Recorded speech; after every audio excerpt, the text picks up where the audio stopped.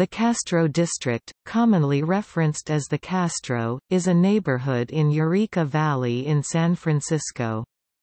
The Castro was one of the first gay neighborhoods in the United States. Having transformed from a working-class neighborhood through the 1960s and 1970s, the Castro remains one of the most prominent symbols of lesbian, gay, bisexual, and transgender LGBT activism and events in the world.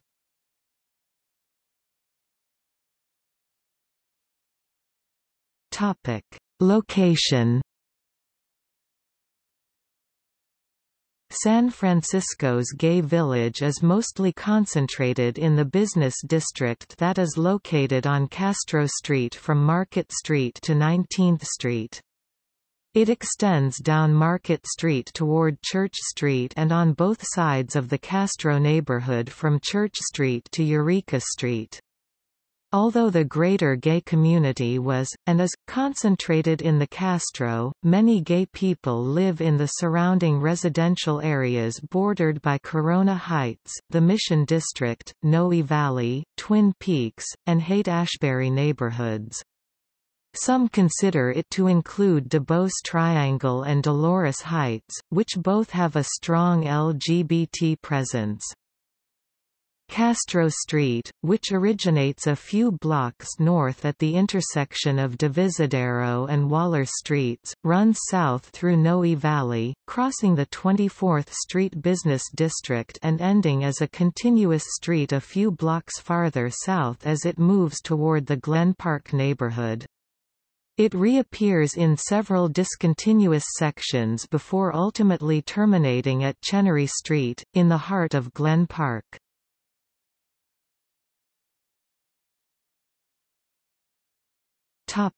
History Castro Street was named for José Castro (1808–1860), a Californian leader of Mexican opposition to U.S. rule in California in the 19th century, an alcalde of Alta California from 1835 to 1836. The neighborhood known as the Castro, in the district of Eureka Valley, was created in 1887 when the Market Street Railway Company built a line linking Eureka Valley to downtown. In 1891, Alfred E. Clark built his mansion at the corner of Douglas and Caselli Avenue at 250 Douglas which is commonly referenced as the Caselli Mansion. It survived the 1906 earthquake and fire which destroyed a large portion of San Francisco.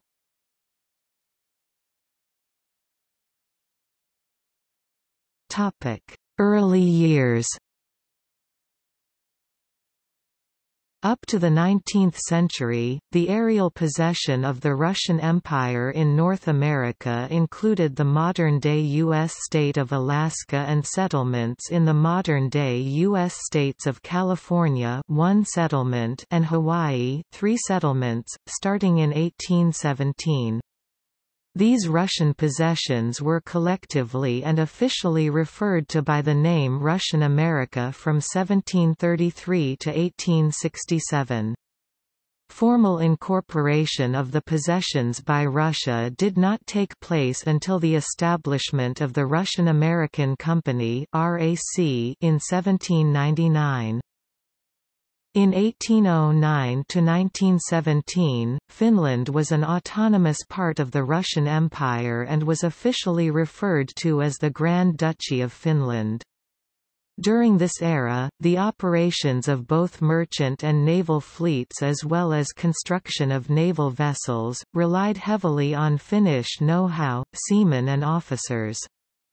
At the time, Russia was a relatively young naval power, gaining gradually access to the Baltic Sea only after the city of St. Petersburg was founded on its coast in 1703, becoming officially part of Russia only at the end of the Great Northern War 1700 1721 in 1721, in 1839, Sitka Lutheran Church, the first Protestant congregation on on the west coast of the Americas and the first Lutheran congregation on the entire Pacific Rim was founded in Sitka, Alaska, by Finns who worked for the Russian-American Company. From the start, in 1840–1865, three consecutive Finnish pastors served this pastorate, Uno Cygnaeus (1840–1845), Gabriel Plathan (1845–1852), and Georg Gustav Winter (1852–1865). The Finns Aron Sjöström and Otto Reinhold Rehn served as the parish organists, sextons during this period. In 1841, under the governorship of Russian America by Finnish Arvid Adolf Etholén (1840–1845), promoted to rear admiral in 1847, the Russian-American area of Fort Ross in Bodega Bay, California, was sold to Johann Sutter. On January 24, 1848, the first California gold was discovered on Sutter's land in Coloma, California, leading to the California Gold Rush. After news of this were spread abroad, mainly by the Finnish seamen in the service of the Russian-American Company. During the final three decades of the existence of Russian America, Finnish chief managers, governors, of Russian America included Arvid Adolf Etholén aka Edelin in 1840–1845 and Johann Hampus Furuhelm in 1859–1864. A third Finn, Johann Joachim von Bartram, declined the offer for the five-year term between 1850 and 1855. All three were high-ranking Imperial naval officers. In reference to San Francisco, researcher Maria J. Enkel states the following about the Finns in the Russian-American Company. Russia relied heavily on Finnish seamen. These seamen manned Russian naval ships as well as its deep-sea-going vessels. Company records show that in the early 1800s these ships were crewed predominantly by merchant seamen from Finland. From 1840 onward the companies around the world ships were manned entirely by Finnish merchant skippers and crews. Most company ships stationed in Sitka and the northern Pacific were likewise manned by Finnish skippers and Finnish crews.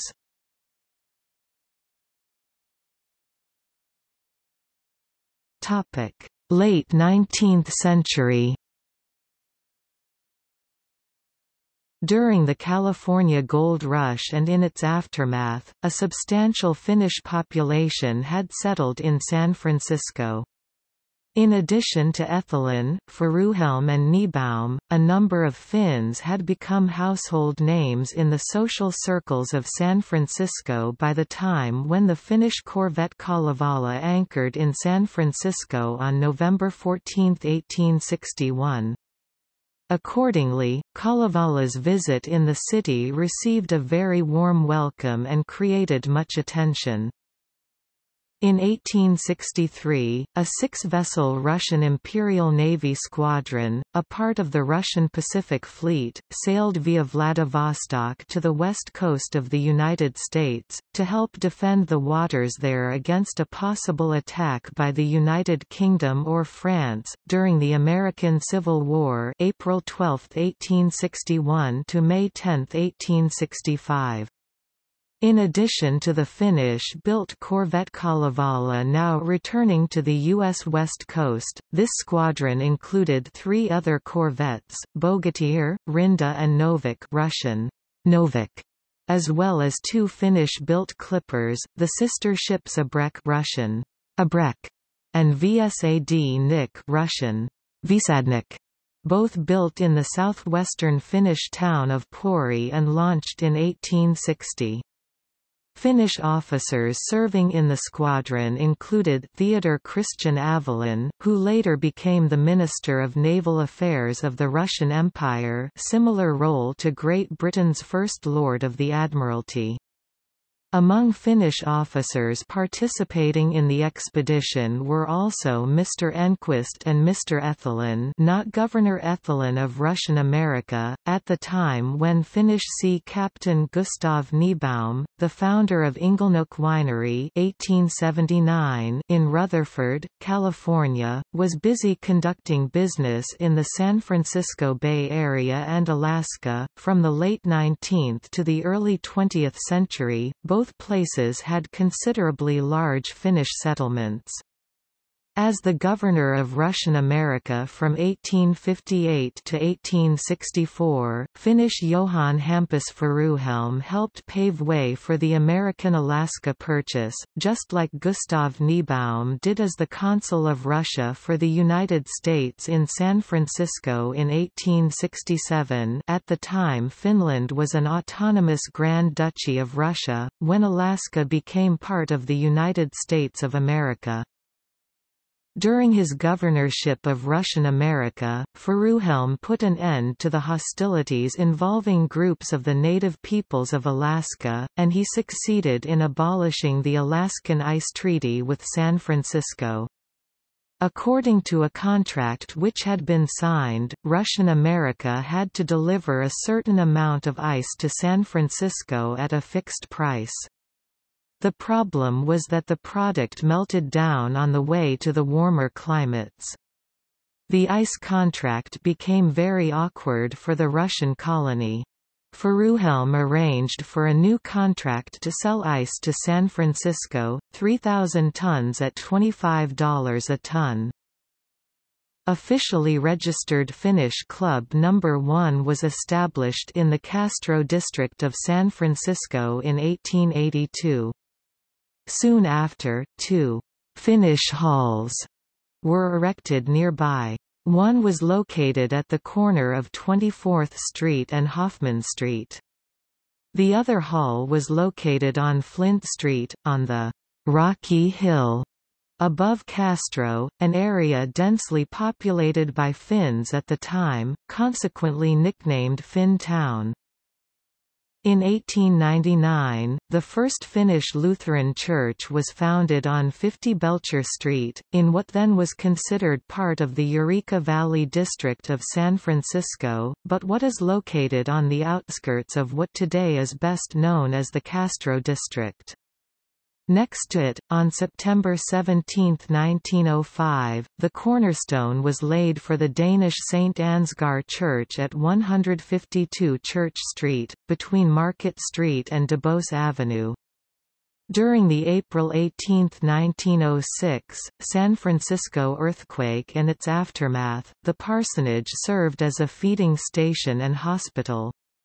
In 1964, St. Ansgar merged with First Finnish Lutheran Church. The name for the United Church, St.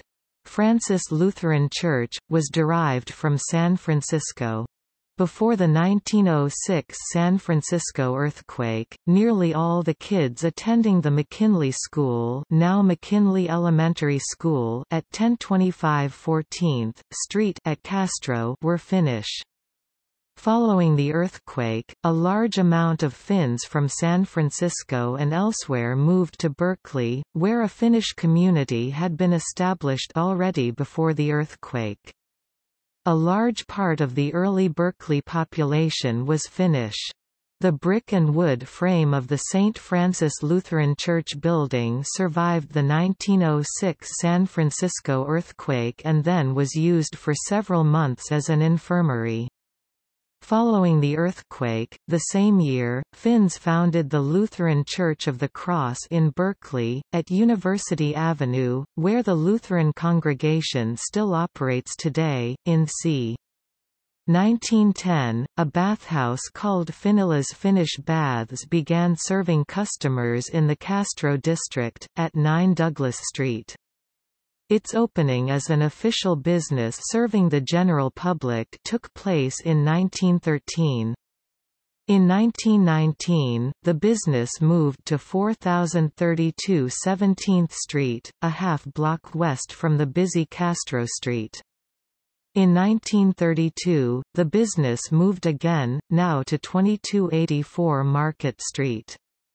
In 1986, after having been stationed in the Castro district for over seven decades, the business moved the final time, now to 465 Taraval Street in the San Francisco's Sunset District, where it continued as Finnila's Health Club, serving women only. Despite public outcry and attempts to prevent the closing of the popular Finnila's Market Street bathhouse, the old bathhouse building was demolished by Alfred Finnila soon after the farewell party held in the end of December 1985. Today, the Finnila family owns the new Market and Noe Center building at the location of the old bathhouse, in the corner of Market and Noe streets.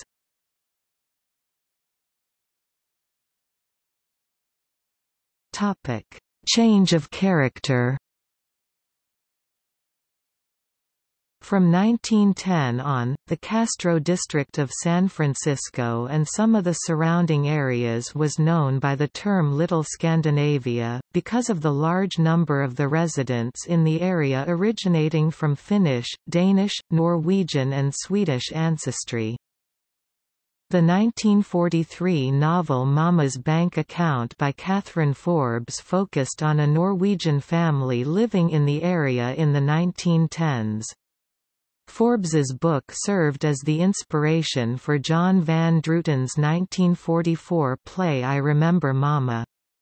The play was adapted to a Broadway theatre production in 1944, to a movie in 1948, to a CBS Mama television series running from 1949 until 1957, to a Lux Radio Theatre play in the late 1950s, and to a Broadway musical in 1979, Mama's Bank Account reflected a then Eureka Valley neighborhood, where for generations Norwegians worshipped at the Norwegian Lutheran Church at 19th and Dolores Streets, and met for fraternal, social events, and Saturday night dances at Dovre Hall, 3543 18th Street, now the Women's Building. The cove on Castro used to be called the Norse Cove at the time. The Scandinavian Seamen's Mission operated for a long time on 15th Street, off Market Street, just around the corner from the Swedish American Hall, which remains in the district.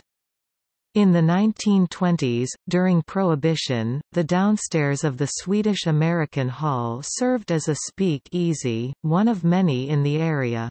Unlicensed saloons were known as speakeasies, according to an 1889 newspaper. They were so called because of the practice of speaking quietly about such a place in public, or when inside it, so as not to alert the police or neighbors. Scandinavian style, half-timber Construction can still be seen in some of the buildings along Market Street, between Castro and Church Streets. A restaurant called Scandinavian Deli operated for decades on Market Street, between Noe and Sanchez Streets, almost directly across the street from Finnila's. Receiving an influx of Irish, Italian and other immigrants in the 1930s, the Castro gradually became an ethnically mixed working-class neighborhood, and it remained so until the mid-1960s. There was originally a cable car line with large double-ended cable cars that ran along Castro Street from Market Street to 29th Street, until the tracks were dismantled in 1941 and the cable car line was replaced by the 24 Muni bus. The Castro is at the end of the straight portion of the Market Street thoroughfare, and a mostly residential area follows Market Street as it curves and rises up and around the Twin Peaks Mountains.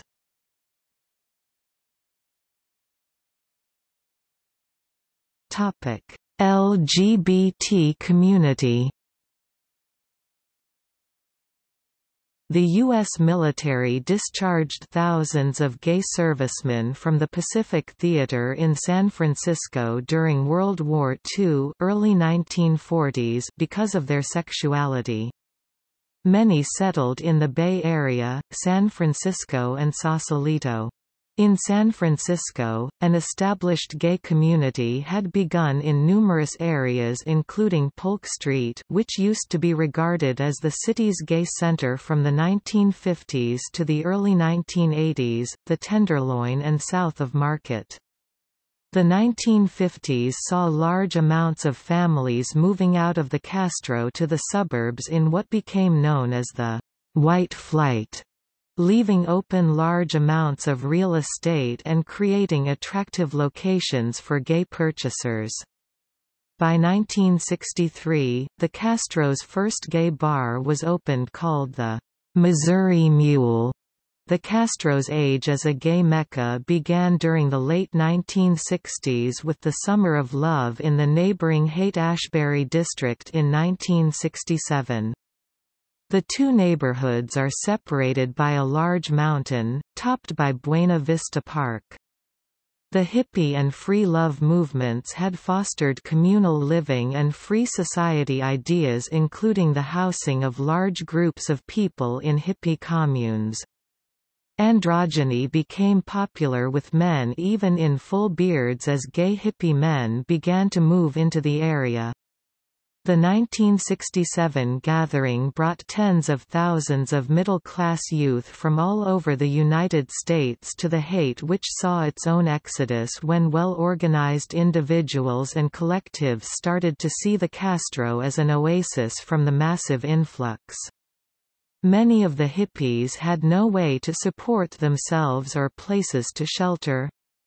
The Haight became drug-ridden and violent, chasing off the gay population, who looked for a more stable area to live. The gay community created an upscale, fashionable urban center in the Castro district in the 1970s. Many San Francisco gays also moved there in the years around 1970 from what was then the most prominent gay neighborhood, Polk Gulch, because large Victorian houses were available at low rents or available for purchase for low down payments when their former middle-class owners had fled to the suburbs. By 1973, Harvey Milk, who would become the most famous resident of the neighborhood, opened a camera store, Castro Camera, and began political involvement as a gay activist, further contributing to the notion of the Castro as a gay destination.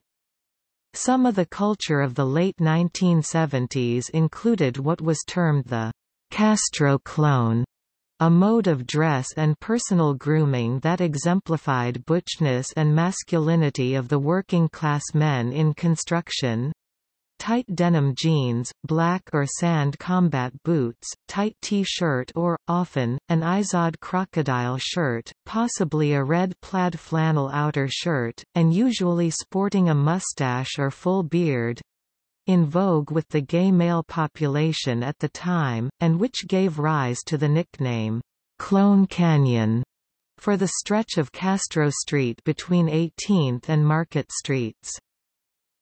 There were numerous famous watering holes in the area contributing to the nightlife, including the Corner Grocery Bar, Toad Hall, the Pendulum, the Midnight Sun, Twin Peaks, and the Elephant Walk. A typical daytime street scene of the period is perhaps best illustrated by mentioning the male belly dancers who could be found holding forth in good weather at the corner of 18th and Castro on Hibernia Beach, in front of the financial institution from which it drew its name.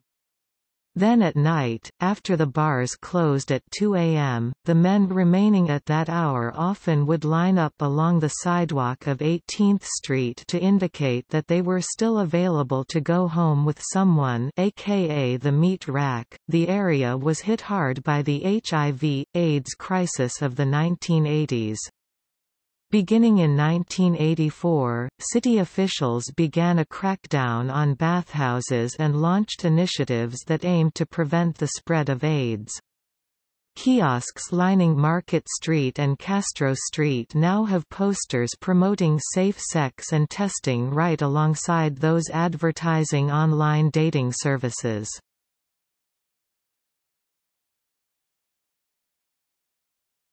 Topic: Attractions. One of the more notable features of the neighborhood is Castro Theater, a movie palace built in 1922 and one of San Francisco's premier movie houses. 18th and Castro is a major intersection in the Castro, where many historic events, marches, protests have taken and continue to take place. A major cultural destination in the neighborhood is the GLBT History Museum, which opened for previews on December 10, 2010, at 4127 18th Street, the first full-scale, standalone museum of lesbian, gay, bisexual and transgender history in the United States and only the second in the world after the Schwules Museum in Berlin. The GLBT History Museum is a project of the GLBT Historical Society, the F Market Heritage streetcar line turnaround at Market and 17th Streets where the Jane Warner City Parklet sits. Across Castro Street is the Harvey Milk Plaza in honor of its most famous resident with its iconic giant flag pole with an oversized rainbow flag, symbol of the LGBT community. Below street level is the main entrance to the Castro Street Station, a Muni Metro subway station and a multi-tiered park. Milk's camera store and campaign headquarters which were at 575 Castro has a memorial plaque and mural on the inside of the store, now housing the Human Rights Campaign Action Center and store. There is a smaller mural above the sidewalk on the building showing Milk looking down on the street fondly. Across Market Street from Harvey Milk Plaza, and slightly up the hill, is the Pink Triangle Park 17th Street at Market, a city park and monument named after the pink triangles forcibly worn by gay prisoners persecuted by the Nazis during World War II. Harvey's was formerly the Elephant Walk, raided by police after the White Night riots. The Hot Cookie Bakery located on Castro Street is a world famous famous destination serving cookies. It is especially known for its coconut macaroons. Twin Peaks is the first gay bar in the city, and possibly the United States, with plate glass windows to fully visibly expose patrons to the public is located at the intersection of Market and Castro. The Hartford Street Zen Center is also located in the Castro, as well as the most Holy Redeemer Catholic Church, 100 Diamond Street. Special events, parade and street fairs that are held in the Castro include the Castro Street Fair, the Dyke March, the famed Halloween in the Castro which was discontinued in 2007 due to street violence, Pink Saturday discontinued in the Castro in 2016, and the San Francisco International LGBT Film Festival. A LGBT Walk of Fame was installed in August 2014 with an inaugural 20 sidewalk plaques representing past LGBT icons in their field, who continue to serve as inspirations. The walk is originally planned to coincide with the business district of the Castro and eventually include 500 bronze plaques. The main business section of Castro Street from Market to 19th Street were under reconstruction and repaving in 2014 to address the number of neighborhood concerns. The area has heavy vehicular traffic as well as many visitors. As part of the work the sidewalks were widened and new trees were planted. Additionally 20 historical cement etchings covering from the inception to the area being settled to the 2010s sweeping gay marriage movement victories will be installed in September 2014.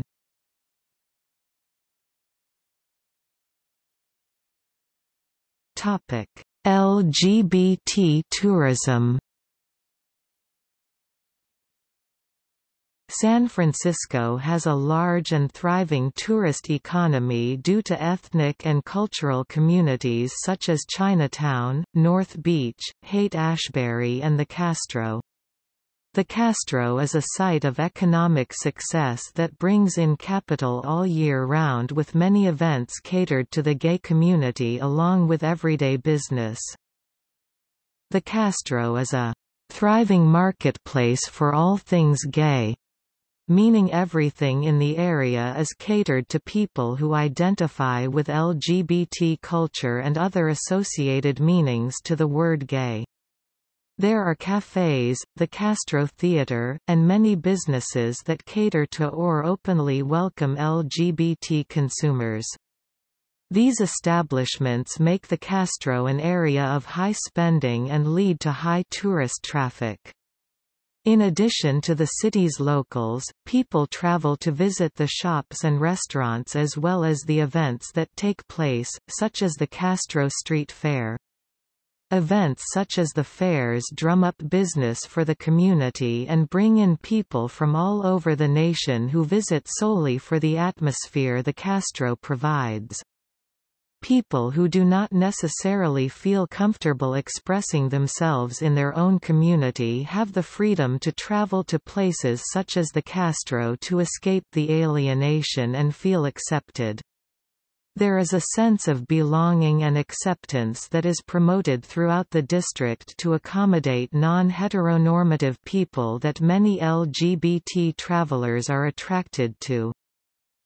The Golden Gate Business Association GGBA was created in 1974 to help promote the Castro as a place for tourists, but also San Francisco and LGBT businesses as a whole. The GGBA sought to gain local political power and hoped to achieve their gains through an increase in gay tourism. This association formed the San Francisco Gay Tourism and Visitors Bureau in 1983. Politically, the Bureau was neoliberal and focused on economic interests while denying poverty and prejudice. The LGBT tourism industry drives and benefits the economy due to the constant influx of consumers.